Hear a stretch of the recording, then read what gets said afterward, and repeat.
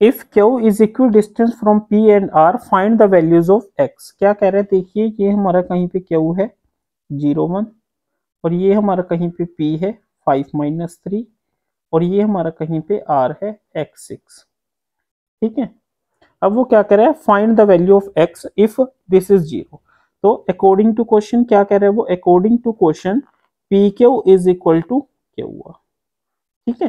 और हमें फाइंड भी करना है इसको। इसमें हम कौन सा फॉर्मूला लगाएँगे? डिस्टेंस फॉर्मूला क्या डिस्टेंस फॉर्मूला डिस्टेंस फॉर्मूला हमारा क्या कहता है? X two minus X one का square plus Y two minus Y one का होल स्केयर का पूरा अंडर यही कहते हैं। ठीक है, सबसे पहले हमारा क्या आता है? फोर पी एंड क्यू यहाँ पे ये हमारा एक्स वन वाई वन हो गया, ये हमारा एक्स टू वाई टू हो गया। तो पी क्यू किसके इक्वल आया?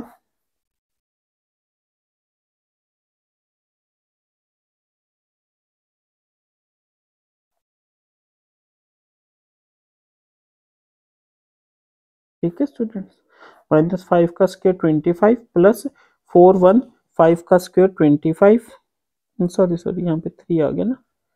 देखिए मेरे से कितनी गलतियाँ हो रही है आज। अंडर रूट फोर्टी तो पी क्यू हमारा कितना आ गया?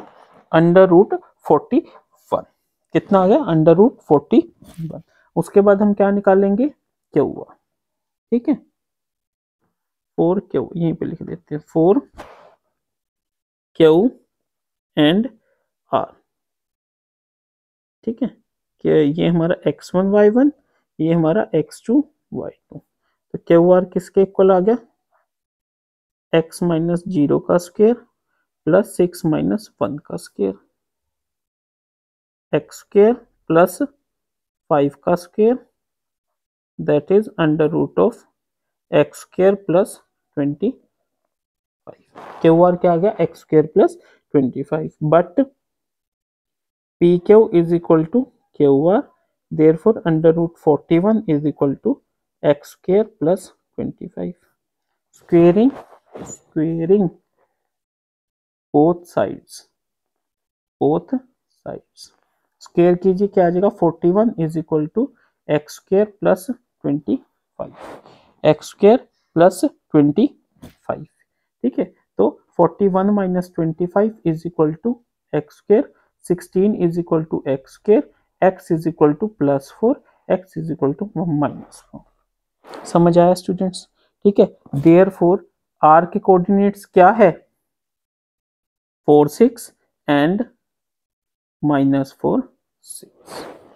ठीक है स्टूडेंट्स तो अब हम क्या निकालेंगे? सबसे पहले फोर सिक्स के केस में। अब हमें क्यू आर और पी आर भी तो निकालना है ना, ठीक है? तो पहले हम लेंगे Q R Q R Q अगर हमारा ज़ीरो वन है और आर है हमारा फोर सिक्स। ठीक है? क्यू हमारा ज़ीरो वन है और आर है हमारा फोर सिक्स तो ये क्या हो जाएगा? इसको हम थोड़ा सा शॉर्ट फॉर्म में करेंगे, मेरे पास स्पेस नहीं है। फोर माइनस ज़ीरो का square plus six minus one का स्केयर फोर का four minus zero four four का square sixteen six minus one five five का स्क्वेयर ट्वेंटी फाइव सोल्व करके की क्या आ गया? रूट फोर्टी ठीक है स्टूडेंट्स अच्छा जी। उसके बाद क्यू आर क्यू आर क्या करना था? हाँ।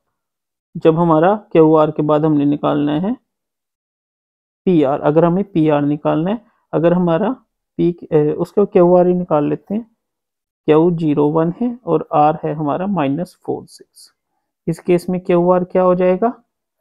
माइनस फोर माइनस ज़ीरो का square plus six minus one का square that is your four minus zero minus four minus four का square sixteen six minus one five five का square twenty five is equal to root forty one. क्या आ गया हमारा ये? Under root of forty one. ठीक है? ये हमारा क्यू आर फोर ले लिया, माइनस फोर ले लिया, हमने क्या निकाल दिया? Q R. अब हम निकाल, हमने क्या निकालना है? P R. पी कितना है हमारा? Five minus three. और फ़र्स्ट केस में आर हमने क्या लिया? Four six. क्या लिया? Four six. ठीक है? एक मिनट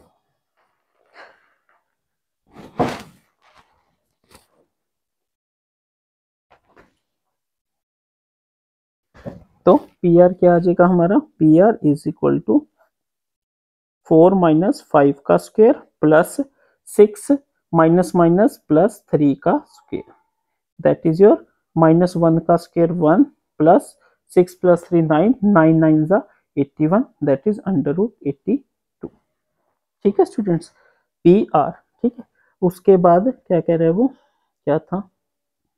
हम्म अगर हमारा पी है फाइव माइनस थ्री और आर कितना है हमारा? माइनस फोर एंड सिक्स ठीक है? तो पी आर किसके इक्वल हो जाएगा?